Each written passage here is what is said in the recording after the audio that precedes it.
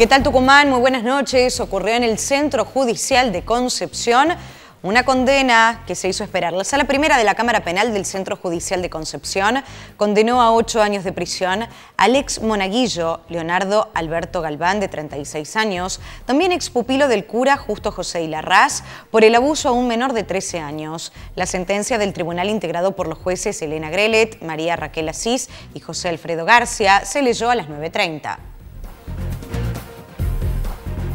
En la Asamblea de Reforma del Estatuto de la Universidad Nacional de Tucumán se votó con validar el preámbulo y habilitar la discusión para determinar si se agrega o no el término irrestricto al mismo al hablar del ingreso a la UNT. La mayoría se impuso y hay un compromiso para que el término sea finalmente incluido. En tanto, los docentes y estudiantes protagonizaron protestas en las puertas de la Facultad de Ciencias Económicas, donde se realizó esta sesión.